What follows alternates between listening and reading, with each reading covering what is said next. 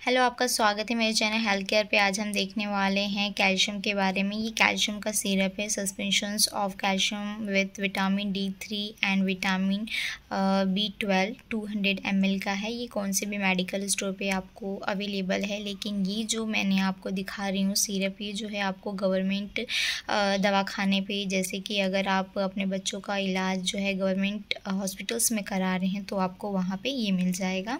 और इसके जो है कोई भी चार्जेस नहीं रहते हैं आपको फ्री जो है गवर्नमेंट हॉस्पिटल्स में मिलते हैं। अगर आपके बेबीज़ में कैल्शियम की कमी है वो उनका तीत जो है वो बराबर समय पे नहीं आ रहा है चलना जो है वो सही समय पे नहीं कर रहे हैं तीत भी आ रहा है तो अच्छे से बराबर नहीं आ रहा है।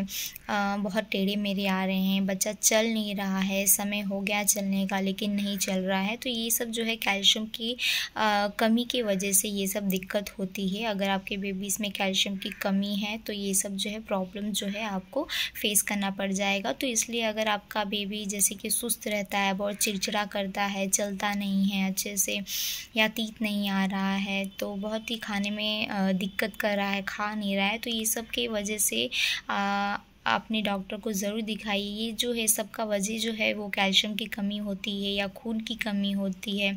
या बच्चों में अगर कैल्शियम की कमी होती है तो बहुत चिड़चिड़ करते हैं और मम्मीज़ को जो है वह समझ में नहीं आता है क्या करना है, क्या नहीं।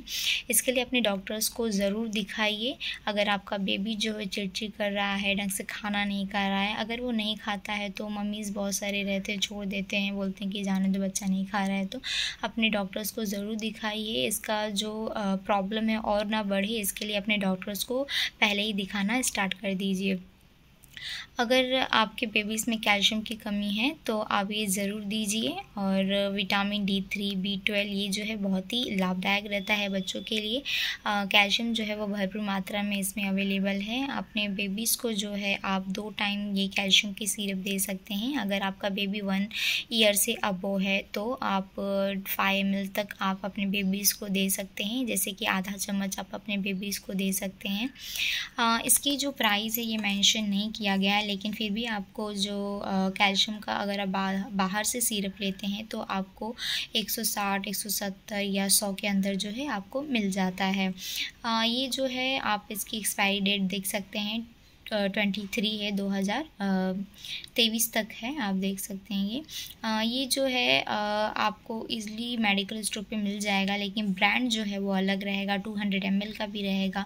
आ, इसकी जो है साइड इफ़ेक्ट कुछ नहीं है। अगर आपका बेबीज़ को ज़्यादा देते हैं तो हो सकता है हल्का सा लूज़ मोशन हो। उसके अलावा और कोई भी साइड इफ़ेक्ट नहीं है।